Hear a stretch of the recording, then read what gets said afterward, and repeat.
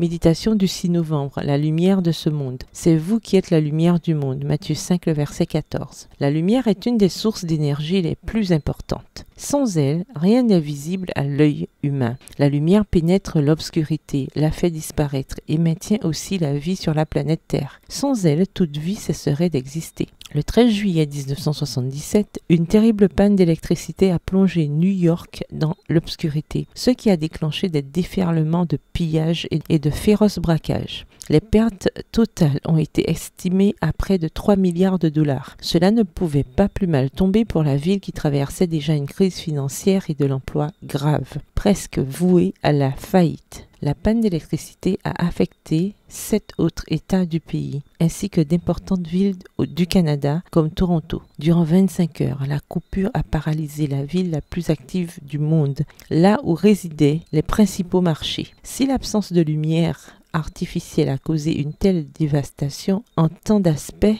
imaginez ce que causerait l'absence de lumière naturelle. De point de vue moral, l'obscurité semble régner dans ce monde dans tous les domaines de la vie. Au cœur des ténèbres spirituelles se lèvent des voix qui promettent d'illuminer l'obscurité dominante de nouvelles philosophies et d'idées novatrices qui s'avèrent finalement être des fiascos. Le Seigneur qui connaît la condition humaine des derniers temps nous demande d'être des lumières au milieu des ténèbres ambiantes. Vous pouvez en être une entre ses mains. Vous pouvez illuminer l'endroit où vous vous trouvez si vous vous assurez d'être en contact avec la véritable source de lumière, Dieu. Ne copiez plus les modèles comportementaux de l'obscurité comme la plainte, le pessimisme ou la victimisation. Acceptez avec courage l'appel que vous avez reçu d'être la lumière du monde, sans excuse ni crainte Comment En basant votre vie sur les principes et valeurs de la parole de Dieu qui se fondent sur la vérité éternelle qui est Jésus-Christ? En vivant ainsi, votre présence réveillera les consciences endormies des conformismes et brandira le flambeau de la vérité, en commençant par votre foyer et puis jusqu'aux extrémités de la terre. On raconte que le philosophe grec Diogène a une fois déambulé